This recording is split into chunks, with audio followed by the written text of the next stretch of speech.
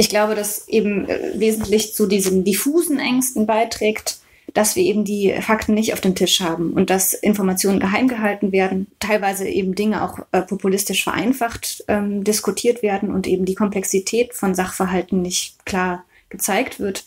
Und dann haben wir nichts, woran wir uns so richtig festhalten können, sondern eben nur so eine diffuse Gefahrenwahrnehmung. Das ist ganz schwer, damit umzugehen. Informationen, sagt die Psychologin Katharina van Bronswijk, die helfen uns, uns ein eigenes Bild zu machen und Dinge und Zusammenhänge zu verstehen. Wenn über Atomkraft diskutiert wird, dann kommen viele Menschen schnell an ihre Grenzen und das, obwohl sie das Thema interessiert, weil die Begrifflichkeiten eben so komplex sind. Wie funktionieren Kernkraftwerke? Welche Rolle spielen Brennstäbe dabei und was versteht man eigentlich unter Restrisiko? Das haben wir uns gefragt hier vom Klimapodcast bei Detektor FM und dann haben wir uns auf die Suche gemacht nach jemandem, die Antworten geben kann. Das hier ist die dritte Folge unserer Serie zum Thema Atomkraft. In den ersten beiden Folgen ging es um unsere Ängste und um die Geschichte der Anti-Atomkraftbewegung. Und jetzt wollen wir uns die Technologie genauer angucken. Ich bin Ina Lebetjew. Hallo zusammen. Mission Energiewende. Der Detektor FM Podcast zum Klimawandel und neuen Energielösungen. Eine Kooperation mit Lichtblick, eurem Anbieter von klimaneutraler Energie für zu Hause und unterwegs. Bei mir im Studio ist meine Kollegin Sarah Marie Plekat. Sie hat sich mit der Frage beschäftigt, wie Atomkraftwerke eigentlich funktionieren. Hallo Sarah. Hallo Ina. Was genau passiert in so einem Atomkraftwerk eigentlich? Ja, ich beschreibe es kurz grob vorab. Wir lassen aber natürlich später noch eine Expertin die Details erklären. Also als erstes braucht man Uran. Das ist ein fossiler Brennstoff, genauso wie Kohle und Öl, der vorher abgebaut wird und aufwendig vorbehandelt werden muss. Und mit diesem Uran wird dann im Atomkraftwerk Wasser erhitzt. Das kannst du dir ungefähr so vorstellen wie bei einem Wasserkocher. Dabei entsteht Dampf und dieser Dampf, der treibt dann über eine Turbine einen Generator an und der produziert dann Strom. Atomkraftwerke sind ja sehr komplexe Gebilde, sehr komplexe Systeme. Es gibt viele Zwischenschritte vom Uran bis zum fertigen Strom. Die lassen wir uns lieber von einer Fachfrau erklären. Unsere Expertin in dieser Folge ist Dr. Mareike Rüffer. Sie ist Kernphysikerin und leitet die Abteilung Nukleare Sicherheit am Bundesamt für die Sicherheit der nuklearen Entsorgung, kurz BASE. Ja, bevor wir ins Gespräch einsteigen, ist eine Info noch wichtig. So ein Atomkraftwerk hat zwei Teile, den nuklearen Teil und den konventionellen Teil. Im nuklearen Teil passiert alles, was mit Uran und Radioaktivität zu tun hat. Frau Rüffer nennt diesen Teil auch den Kontrollbereich. Also da herrschen einfach nochmal besondere Sicherheitsvorkehrungen, weil natürlich unbedingt verhindert werden soll, dass radioaktive Strahlung in die Umwelt gelangt. Und der konventionelle Teil, das ist der gesamte Bereich, in dem die Wärme aus dem Reaktor in Dampf umgewandelt wird und Strom erzeugt wird. Okay, dann haben wir jetzt, glaube ich, die Grundlagen parat und hören uns das Gespräch, das du mit Frau Rüffer geführt hast, an.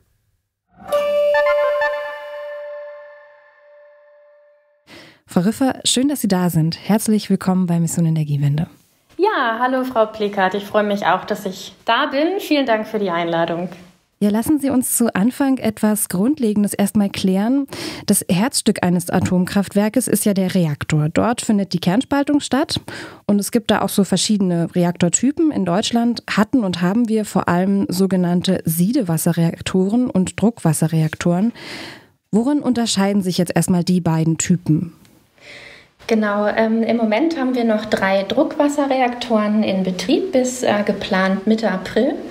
Und ähm, beides sind Leichtwasserreaktoren, das muss man vielleicht erstmal dazu sagen. Und ähm, der Druckwasserreaktor ist so aufgebaut, ähm, dass, die, dass es die Kernspaltung, die Wärme im Primärkreislauf äh, verbleibt ähm, und die Wärme abgegeben wird an einen zweiten Kreislauf. Ähm, das heißt, ähm, das Charmante daran ist, dass die ganzen radioaktiven Stoffe ähm, direkt beim Reaktorkern im Primärkreislauf verbleiben ähm, und dann nicht noch in weitere Komponenten oder äh, des, Reakt des Reaktorgebäudes dann äh, übergehen ähm, sondern es gibt dann Wärmetauscher, die das Ganze über einen zweiten Kreislauf dann auf eine Turbine und dann einen Generator äh, leiten, der dann den Strom erzeugt. Beim Siedewasserreaktor ist es so, dass äh, direkt dort auch, wo der Reaktorkern ist, die Brennstäbe, äh, in dem Gebiet auch äh, eine, eine Siedung stattfindet, also Dampf erzeugt wird, der dann direkt auf die Turbinen geleitet wird. Das heißt, man spart sich einen Kreislauf, ähm, hat dann aber auch ähm, den Nebeneffekt, dass, die, ähm, dass weitere Komponenten des Reaktorgebäudes auch als Kontrollbereich eingestuft sein müssen, weil eben direkt das Wasser, ähm, was die Wärme aus dem Reaktorkern leitet, dann eben eben auch in weitere Komponenten kommt. Mhm. Das heißt, da gibt es nicht diese Unterscheidung zwischen dem nuklearen und nicht-nuklearen Teil bei den Siederwasserreaktoren? Ähm, doch, das gibt es auch, aber der, der nukleare Teil umfasst mehr Komponenten, ähm, also der Kontrollbereich auch, ähm, als beim Druckwasserreaktor, weil es eben nicht diese entkoppelten Kreisläufe gibt. Sie haben es schon angesprochen. Ähm, in, in Deutschland haben wir vor allem jetzt, also die letzten drei verbleibenden sind, ähm, gehören zu den Bereichen der Druckwasserreaktoren. Lassen Sie uns mal gemeinsam so einen gedanklichen Rundgang durch ein Kraftwerk mit so einem Reaktor machen. Ganz am Anfang befinden wir uns im Reaktorgebäude. Das ist der nukleare Teil. Wir haben es gerade schon angesprochen, weil hier die Kernspaltung stattfindet. Und zwar im Reaktorkern. Wie kann ich mir den bildlich vorstellen? Ja, der Reaktorkern besteht auch beim Druckwasserreaktor aus 193 Brennelementen. Ähm, diese Brennelemente äh, sind viereckig äh, ähm, und bestehen aus 236 Brennstäben. Das sind Rohre, die jeweils so vier Meter lang sind. Und die haben Tabletten äh, in sich drin, in diesen Rohren. Das ist Pulver zu Tabletten gepresst. Das ist das Urandioxid. Das ist dieser Brennstoff. Ähm, da brennt natürlich nichts, aber so nennen wir das. Genau, diese Tabletten haben ungefähr einen Durchmesser von einem Zentimeter. Ähm, und wie gesagt, das ist dann so in, äh, in so einer senkrechten Form angeordnet, in einer Geometrie. Und ähm, dazwischen gibt es dann angeordnet noch 61 Steuerstäbe, ähm, die für die Kontrolle der Reaktivität dann genutzt werden. Und ähm, das Wasser wird als Moderator, das ganz normale Haushaltswasser, was wir eigentlich auch haben, ähm, das durchfließt dann diese Brennstäbe von unten, ähm, kommt da rein mit einer Eintrittstemperatur von etwa 290 Grad ähm, und erwärmt sich dann beim Durchfluss nach oben so auf 320, 330 Grad. Ähm, und diese Wärme wird dann abgeführt ähm, auf ähm, Dampferzeuger, also ein Wärmetauscher, äh, wo dann in einem zweiten Kreislauf ähm, dann Dampf entsteht, der dann für die Turbinen genutzt wird. Sie haben gerade das Wasser schon angesprochen. Das heißt also, dieser, dieser Reaktorkern, also diese Kombination der, ähm, der Stäbe, befindet sich in einem Becken, in dem auch Wasser drin ist. Nur, dass wir das uns nochmal vorstellen können, wie das aussieht, bildhaft. Genau, das Wasser hat zwei ganz wichtige Funktionen. Ähm, einmal ist es Kühlmittel, was die Wärme abführt, die bei der Kernspaltung entsteht. Ähm, und zweitens dient es aber auch als Moderator. Denn ähm, die, das Uran, was im Leichtwasserreaktor benutzt wird, ähm, ist Uran 235 und das lässt sich nur spalten mit langsamen Neutronen. Bei einer Kernspaltung, also bei der, der Spaltung von 235 Uran entstehen aber erstmal schnelle Neutronen und die sind aber so schnell, ähm, dass das nicht direkt dann das nächste Atom spalten kann, sondern die müssen erstmal runtermoderiert werden, also sozusagen verlangsamt werden und das passiert über Zusammenstöße mit diesen Wassermolekülen. Und wenn sie langsam genug sind, dann sind sie wieder bereit, sozusagen das nächste Atom 235 äh, zu spalten. Lassen Sie uns da nochmal konkreter einsteigen in diesen Prozess der Kernspaltung. Und zwar so ein Atomkern, der besteht ja aus vielen kleinen Kugeln, die, also jetzt vereinfacht gesagt, die zusammen eine große Kugel ergeben. Und wenn die halt eben zerfällt, dann stoßen diese freien Kugeln andere an. Und Sie haben gerade auch gesagt, dass es da unterschiedliche Schnelligkeiten gibt. Diese Kettenreaktion, die dabei entsteht, die ist ja erstmal ziemlich unkontrolliert. Und damit es da keine Schwierigkeiten gibt, muss das ja irgendwie unter Kontrolle gehalten werden. Wie wird das gemacht? Mhm. Genau, ich erkläre vielleicht erst noch mal ganz kurz, was bei diesem Zerfall ähm, passiert. Also es äh, gibt auch in der Natur diesen spontanen radioaktiven Zerfall und hier machen wir das tatsächlich sehr kontrolliert. Und genau wie Sie gesagt haben, ist das Uranatom ein sehr schweres Atom. Das heißt, da sind ähm, viele Protonen, nennen wir das, also positive Teilchen, die sich auch normalerweise abstoßen würden. Ähm, und das Ganze wird aber dadurch im Kern stabil, dass eben die Neutronen auch dazwischen sind und das Ganze so ein bisschen abpuffern. Und das Ganze wird dann zusammengehalten von der sogenannten Bindungsenergie. Ähm, so ist jeder äh, Atomkern aufgebaut, ähm, eben auch das Uran. Und ähm, was man hier jetzt aber will, ist wirklich diese ganz kontrollierte Spaltung, die ich sozusagen induziere, indem ich ähm, ein langsames Neutron auf diesen Atomkern auftreffen lasse. Und der wird dann in zwei leichtere Teile gespalten. Das sind diese Spaltprodukte. Ähm, die am Ende auch die Gefährlichkeit der radioaktiven Abfälle ausmachen. Und zusätzlich werden aber immer so zwei bis drei neue Neutronen frei. Ähm, und diese Neutronen sind dann erstmal schnelle Neutronen, die ich dann verlangsamen muss, damit sie dann den nächsten Atomkern spalten können. Und wie wird das dann kontrolliert? Also Sie können sich vorstellen, wenn ich jetzt alle Neutronen, äh, die bei der Spaltung eines Atoms frei werden, diese zwei bis drei behalte, dann würden die ja auch wieder zwei bis drei neue Urankerne spalten und so weiter. Das heißt, es würden immer mehr werden. Bei der kontrollierten Kettenreaktion möchte ich aber, dass ungefähr ein Neutron ähm, also genommen wird, um das nächste zu spalten. Also es soll immer auch stabil bleiben von der Menge her. Das heißt, ich muss die restlichen Neutronen äh, wegfahren Abfangen, wir nennen das Absorbieren. Ähm, und das kann ich auf zwei Wegen machen. Ähm, für die sozusagen damit mache ich auch die Leistungskontrolle des Reaktors. Ähm, dazu nutze ich vor allem die Brennstäbe. Die haben Absorbermaterial, das ist Bohr, ähm, aber auch zum Beispiel Indium oder Cadmium, also einfach Elemente, die sehr gut ähm, Neutronen einfangen und bei sich behalten. Und Dadurch kann ich dann einfach die Anzahl Neutronen, die weggefangen werden müssen, wegfangen. Oder wenn ich den Reaktor komplett abschalten will, dann kann ich eben auch durch das komplette Einfahren der Steuerstäbe ähm, dann den, die, die Reaktion komplett zum Erliegen bringen. Und in diesen Steuerstäben befinden sich dann Stoffe wie beispielsweise Bohr, die die überschüssigen Neutronen absorbieren. Ganz genau. Und in der Praxis sind die von Anfang an da drin. Also solange der Reaktor abgeschaltet ist, sind die Steuerstäbe komplett eingefahren von oben. Und ähm, wenn ich dann eine Reaktion äh, zulassen möchte, dann ziehe ich Teile, also einige dieser Steuerstäbe dann kontrolliert raus. Also warum zieht man sie raus und schiebt sie nicht rein?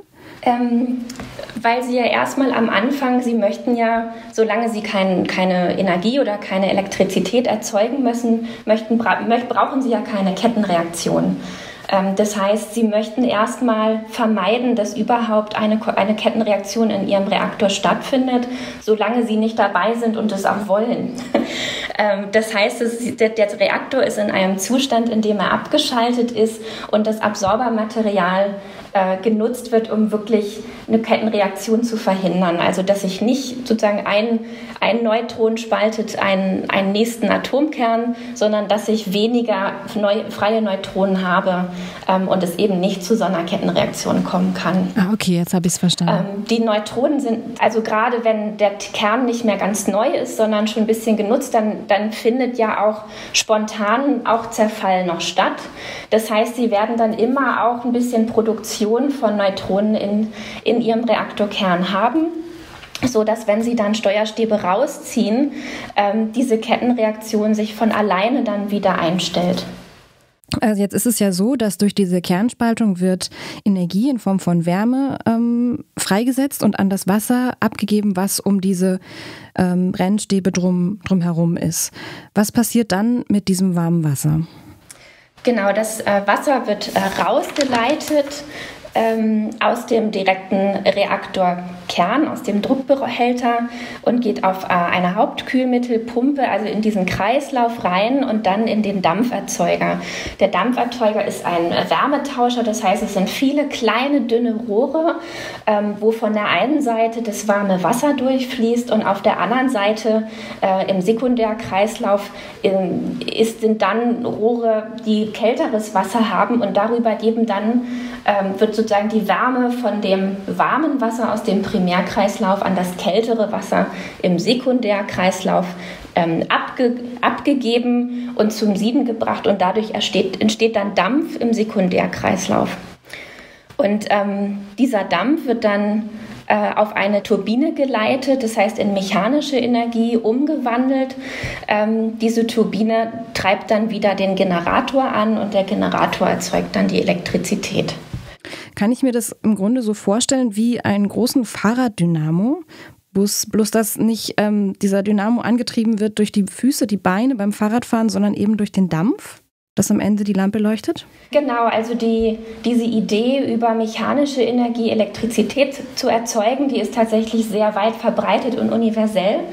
Ähm, tatsächlich kann man es auch vergleichen diese, diesen hinteren Teil ähm, mit einem Kohlekraftwerk. Auch da ist es so, dass Dampf erzeugt wird, der dann eine Turbine antreibt, die dann Elektrizität erzeugt. Also es geht immer darum, ähm, Wärme zu erzeugen, die ich dann nutzen kann, äh, um zum Beispiel mit Wasserdampf dann genau eine Turbine anzutreiben. Oder bei Ihrem Fahrrad machen Sie das dann mit Ihren Füßen. Und mm, jetzt ist es ja so, Sie hatten von verschiedenen Wasserkreisläufen auch gesprochen, wo quasi der, also diesen, diesen Primärkreislauf und den Sekundärkreislauf, wo dann das Wasser nicht, ähm, nicht aneinander kommt, sich nicht vermischt. Ähm, wird das Wasser dann irgendwie zurückgeleitet oder ähm, wie kann ich mir das vorstellen, wenn wir jetzt quasi am Ende sind? Wir haben jetzt, sind jetzt bei der Turbine angekommen. Wird der Dampf wieder verflüssigt, um dann diesen Prozess wieder von vorne zu beginnen? Oder wie funktioniert das? Genau, wie Sie das auch schon sagen, sind das geschlossene Kreisläufe. Also auch der Sekundärkreislauf ist in sich geschlossen. Ähm, nachdem die Wärme an die Turbine abgegeben wurde, wird das Ganze wieder kondensiert ähm, und dann wieder zurückgeleitet in den Dampferzeuger, wo es dann wieder in Dampf umgewandelt wird. Eine kurze Unterbrechung für unseren Werbepartner. Euer Laptop läuft mit 100% Ökostrom, eure Heizung mit klimaneutraler Wärme, in der Garage lädt euer Auto und auf dem Dach erzeugt ihr euren eigenen Solarstrom. Klingt nach Zukunftsmusik, ist aber jetzt schon leicht zu haben. Bei Lichtblick bekommt ihr alles, was ihr für einen klimaneutralen Lebensstil braucht. Jetzt einfach wechseln zu Deutschlands größtem Ökostromanbieter. Für die Kernspaltung, da braucht man ja Uran. Ähm, das ist ein fossiler Energieträger und genauso wie Kohle und Öl ähm, endlich. Wie, wie kommt der denn eigentlich, also er wird abgebaut, wie kommt er denn eigentlich in der Natur vor? Also man äh, kann Uran äh, abbauen, das Natururan äh, im Bergbau und ähm, der Unterschied zwischen dem Natururan und dem, was dann später im Reaktor benutzt wird, ist ähm, die Zusammensetzung äh, mit den Isotopen. Also im Natururan ähm, habe ich fast nur 200, äh, Uran 238 und das, was ich aber brauche für meine Kettenreaktion, dieses Uran 235, ist nur ganz, ganz wenig äh, überhaupt im Natururan vorhanden. Und deshalb muss man erstmal einen äh, Prozess der Anreicherung äh, durchlaufen. Das heißt, ich äh, reichere ähm, ich löse dieses äh, Uran 235 äh, aus, äh, heraus ähm, sozusagen und bringe das dann ein in das Natururan, bis das auf etwa so 3% angereichert ist. Ähm, genau, dadurch entstehen dann äh, Abfallstücke, dieses abgereicherte Uran 238, was dann quasi kein äh, Uran äh, 235 mehr hat. Das ist dann ein Abfallprodukt und ich habe ähm, dann meine Brennstäbe oder die ich dann eben im Reaktor nutzen kann, wo dann ein angereicherter Anteil von Uran 235 äh, mit etwa 3% ist. Und, und angereichert heißt in dem Fall ähm, gestreckt, also für, eine Form von Verdünnung, damit es mehr ist? Ähm, ja, es heißt eigentlich ähm, eine Form von Konzentration. Also sozusagen, dass, dass der Anteil des Isotops 235 darin vergrößert werden muss. Das bedeutet natürlich, dass Sie am Ende sozusagen zwei Chargen Uran haben, nämlich einmal das angereicherte, in dem jetzt mehr 235 ist, aber das müssen Sie ja irgendwo herkriegen. Ne? Das kriegen Sie dann auch aus Ihrem Natururan. Ähm, aber dann bleibt natürlich auch eine Menge Uran übrig, 238, was dann abgereichert ist ist. Also wo sozusagen der, der Anteil aus 235 da komplett rausgenommen ist. Ähm, diese Spaltprodukte bleiben hochradioaktiv, das heißt, sie verfallen weiter und weiter und weiter und haben auch sehr lange, teilweise sehr lange Halbwertszeiten. Ähm, das sind dann diese hochradioaktiven Abfälle, die äh, am Ende entsorgt werden müssen und die über sehr, sehr lange Zeiträume sicher von der Biosphäre abgeschirmt werden müssen wo wir in Deutschland gerade dabei sind, ein tiefengeologisches Endlager, einen Standort dafür auch zu finden, ähm, weil das eben so gefährliche Stoffe sind, ähm, dass sie dauerhaft auch von der Oberfläche abgeschirmt werden müssen. Lassen Sie uns nochmal auf die aktuelle Situation gucken. Wir haben noch drei ähm, Atomkraftwerke, die noch bis kommenden April jetzt in diesem sogenannten Streckbetrieb sind, die also doch nicht abgeschalten werden, wie es ursprünglich ähm, angedacht war bis Ende des Jahres. Ähm, was bedeutet das? Was passiert in so einem AKW in einem Streckbetrieb? Ich würde an der Stelle gerne nochmal aufklären. Es gibt ähm, sozusagen einmal das Wort Streckbetrieb, was sich jetzt so umgangssprachlich äh, auch in der ganzen Debattenlage eingebürgert hat für so einen Zeitraum, der ähm, von äh, sozusagen nach jetzt die Monate ab Januar betrifft. Sozusagen, das ist erstmal äh, eine Zeitperiode. Ähm, ursprünglich wird dieser ähm, Begriff als Betriebszustand des Reaktors bezeichnet. Ähm, und zwar ist es normalerweise so, dass die Brennstäbe oder ein Teil der Brennstäbe etwa jährlich ausgetauscht werden. Das ist dann so ein Betriebszyklus, ähm, wo man dann eine gewisse, einen gewissen Abbrand des Kerns erreicht hat und wo der Kern auch noch volle Leistung bringen kann. Ähm, das heißt, man kommt dann irgendwann an so einen Bereich, wo in dem Brennstoff nicht mehr so viel äh, vorhanden ist an Brennstoff, dass 100% Leistung erreicht werden können. Und normalerweise ähm, ist das dann auch, wo der Reaktor dann runtergefahren wird und dann eben auch ein Teil des Kerns ausgetauscht wird. Ähm, beim Streckbetrieb ist es aber so, dass ich den Reaktor dann trotzdem weiterfahren lasse.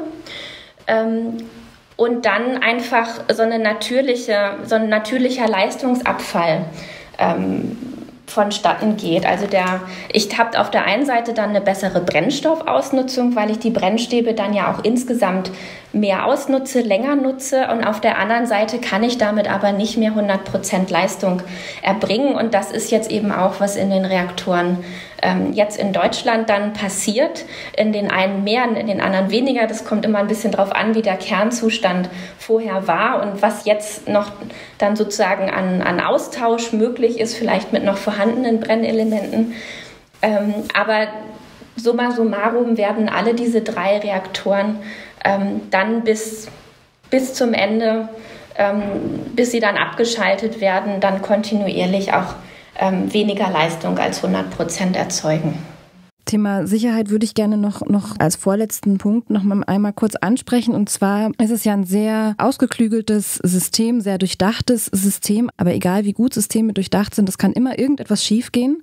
Ähm, und im Moment ist es ja so, dass sich viele Menschen in Deutschland oder es Menschen in Deutschland gibt, die sich darum sorgen, dass es einen Stromausfall geben könnte. Wenn wir jetzt dieses Szenario mal zu Ende denken würden, was, welchen Effekt hätte das? Die Kernkraftwerke sind ja erstmal deswegen jetzt auch noch am Netz gelassen, um eine Netzstabilität zu unterstützen, äh, damit es eben genau mhm. hoffentlich nicht zu so einem Blackout kommt. Ähm, Im Falle eines Blackouts sozusagen unterscheide ich jetzt mal die, also was heißt das dann für die Bevölkerung und was heißt das dann für das Kraftwerk? Ähm, Im Kraftwerk ist es so, ähm, dass das Kraftwerk braucht Strom, damit auch weiterhin die Nachwärme abgeführt werden kann. Also das, das Kraftwerk liefert einmal Strom, das Atomkraftwerk, aber es braucht auch selber einen geringen Anteil an Strom, um ähm, die, die Reaktion, die, den weiteren Zerfall der, der Spaltprodukte im Reaktor ähm, damit die Wärme, die daraus entsteht, auch nach Abschalten der Kettenreaktion gut abgeführt werden kann. Ähm, das heißt, in dem Fall ähm, muss dann eine, eine Redundanz oder eine Diversität anspringen. Das heißt, braucht ein anderes System, wo der Reaktor erstmal seinen Strom herbekommt. Ähm, und da gibt es verschiedene Möglichkeiten. Entweder, dass er ganz niedrig betrieben wird, einfach für seinen Eigenbedarf, ähm, oder dass es ähm, äh, weitere Leitungen gibt zu anderen Kraftwerken in der Nähe, die dann äh, Strom liefern können. Ähm, oder sagen, wenn alle Stricke reißen, dann gibt es noch ähm, die Rückfalloption der Notstromdiesel, ähm, mit denen dann auch auf, direkt auf dem Anlagengelände Strom generiert werden kann. Jetzt haben wir ja viel über Begriffe gesprochen. Welcher Begriff wird in diesem ganzen Themenkomplex Ihrer Meinung nach am häufigsten eigentlich missverstanden? was wird missverstanden? Also was ich oft das Gefühl habe, das ist jetzt mein Eindruck aus der Debatte, was schwer, glaube ich, auch einfach intuitiv schwer zu verstehen ist. Das ist, ähm, wie wird eigentlich Sicherheit hergestellt und was, was ist Sicherheit und gibt es eigentlich absolute Sicherheit? Denn beim Atomkraftwerk ist es einfach so, dass es viele Sicherheitsvorkehrungen gibt. Es gibt viele Systeme, die dafür sorgen, dass die Stoffe nicht an die äh, Außenwelt geraten, die Bevölkerung erstmal nicht gefährdet ist. Aber es ist immer eine Mischung aus Antizipation und Erfahrung. Das heißt, es gibt Dinge, auf die ich mich vorbereiten kann und es gibt Dinge, die ich einfach nicht im Blick habe und auch nicht weiß, dass ich sie nicht im Blick habe. Das ist sozusagen dieses Lernen aus vergangenen Unfällen, die wir hatten und immer wieder die Erfahrung, dass eben auch undenkbare Szenarien, wo man vorher vielleicht gar nicht dran gedacht hat, dass die eben auch eintreten können. Das ist dieses sogenannte Restrisiko. Und weil es das gibt, muss das Sicherheitsniveau ähm, von Atomkraftwerken kontinuierlich verbessert und erhöht werden. Ähm, und es gibt nicht die Sicherheit, sondern es gibt immer nur ein bestimmtes Sicherheitsniveau, was erreicht wird. Und ich muss kontinuierlich gucken, ähm, wie, wie kann ich da noch besser werden? Gibt es Dinge, die jetzt neu aufgetreten sind, vielleicht auch in anderen Staaten, aus denen ich lernen kann und auch das Sicherheitsniveau meiner eigenen äh, Reaktoren verbessern kann. Da ist ein ganz wichtiges Stichwort zum Beispiel auch diese periodische Sicherheitsüberprüfung, die eben genau ähm, auch dazu da ist, eben zu gucken, wie kann ich jetzt das Sicherheitsniveau noch verbessern. Und die ganz ein zentrales Element ist im deutschen, in der deutschen Sicherheitsphilosophie von Kernkraftwerken. Und ich habe oft den Eindruck, dass dieses Zusammenspiel ähm, einfach nicht so geläufig ist ähm, zwischen sozusagen, ja, natürlich ähm, gehe ich ins Kraftwerk und gucke, ob dort alle meine Schrauben an, ich sag mal umgangssprachlich so alle meine Schrauben fest und angezogen sind, ob ich alle meine Prüfungen gemacht habe. Ähm, aber dass, wenn ich das gemacht habe, dann bin ich noch nicht fertig. Also das ist dann nicht die Sicherheit, ähm, sondern das ist ein Teil dieser Sicherheitsphilosophie und da gehört eben mehr dazu. Ähm, und da habe ich das, das Gefühl, dass das ganz manchmal einfach schwierig ist, das zu vermitteln. Das sagt Dr. Mareike Rüffer. Sie ist Kernphysikerin am Bundesamt für die Sicherheit der nuklearen Entsorgung in Berlin. Frau Rüffer, vielen Dank für das Gespräch. Ja, sehr gerne.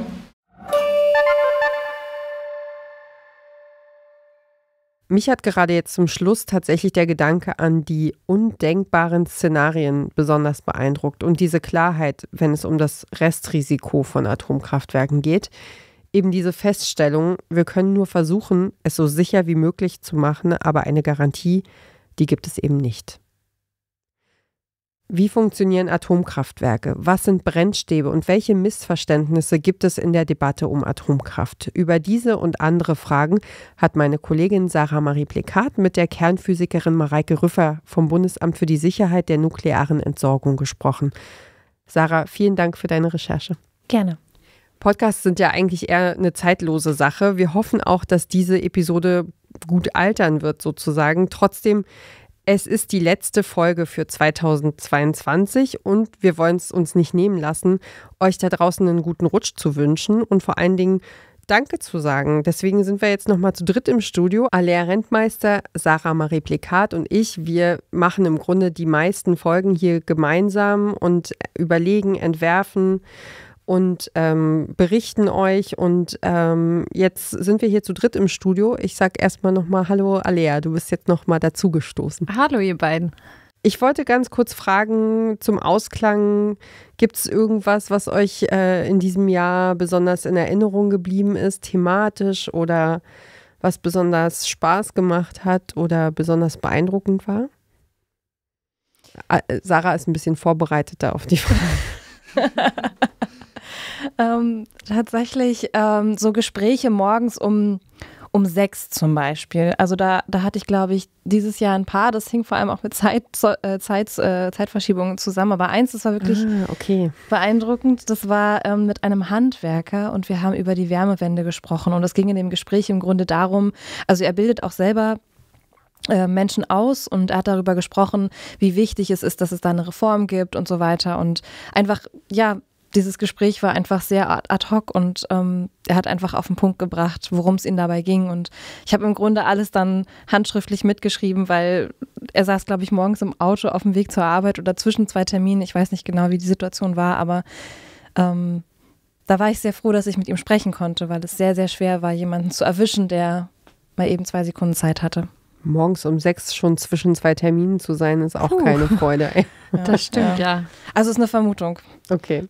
Aber Alia, wie sieht es bei dir aus? Ist dir, fällt dir irgendwas ja, ein? Ja, ich habe gerade versucht, Sarahs Antwort zu nutzen, um kurz nachzudenken.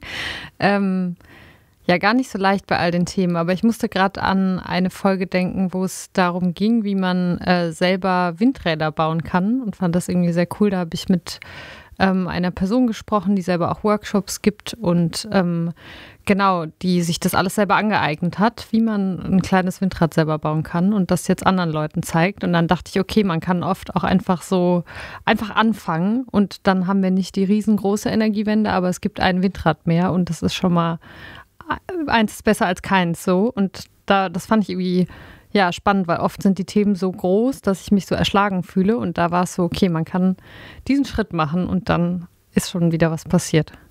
Mhm. Mhm. Und bei dir, Ina? Ich, äh, also ich glaube, ich entscheide mich für so das große Ganze. Also ich finde das ziemlich beeindruckend.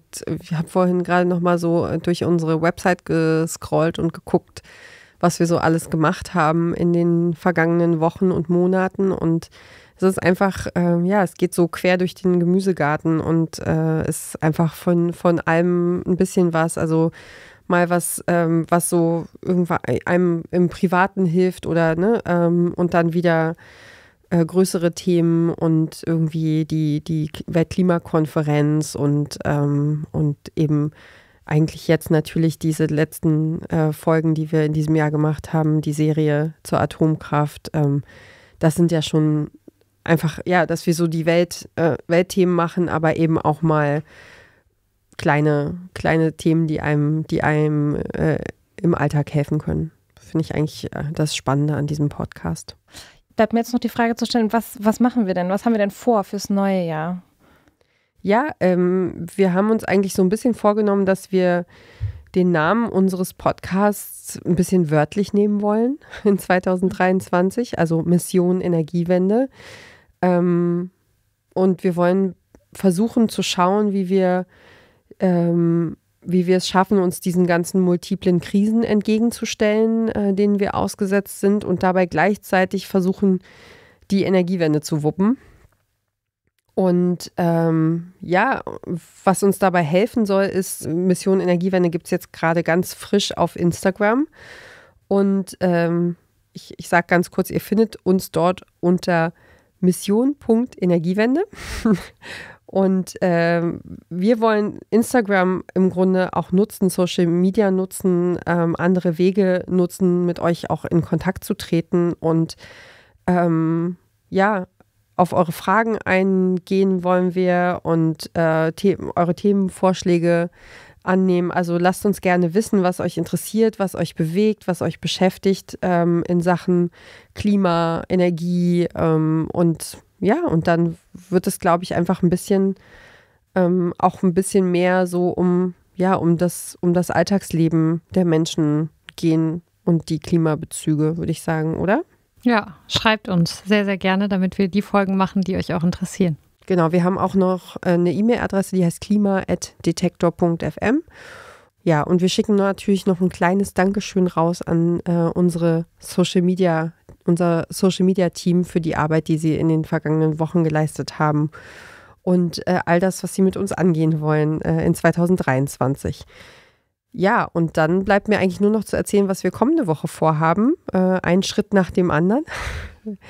Ähm, wir wollen in der kommenden Woche unsere Atomkraftserie nämlich komplett machen. In der ersten Folge des neuen Jahres wagen wir dann hier bei Mission Energiewende einen Blick in die Zukunft der Kernenergie und fragen, was wird aus all den abgeschalteten Atomkraftwerken in Deutschland und darüber sprechen wir mit Marlies Philipp und die ist eine absolute Koryphäe auf dem Gebiet.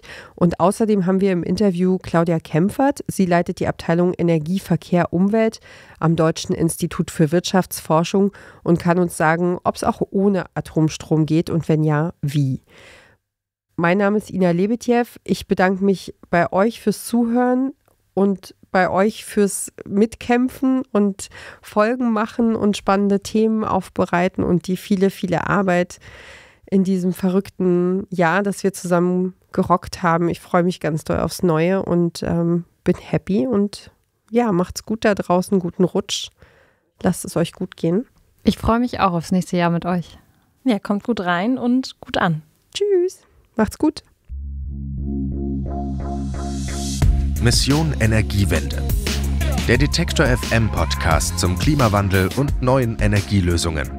Eine Kooperation mit Lichtblick, eurem Anbieter von klimaneutraler Energie für zu Hause und unterwegs.